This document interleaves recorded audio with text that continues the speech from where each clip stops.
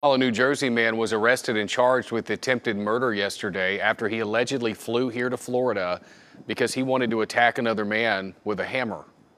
Nassau County investigators say 20 year old Edward Kang flew from Newark to Jacksonville because he wanted to settle an online dispute with someone he was playing a video game with who claimed that he was, quote, a bad person when they were playing online.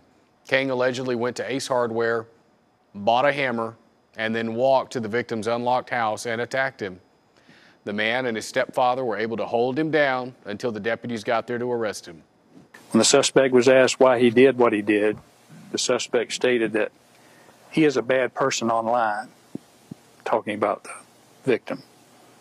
In addition, the suspect asked our deputy, How much time in jail do you get for breaking and entering an assault? And I would say, Mr. Kang, it's going to be a long time before you play video games again. The victim was taken to the hospital with serious head wounds, has since been released and is expected to be okay, thank goodness.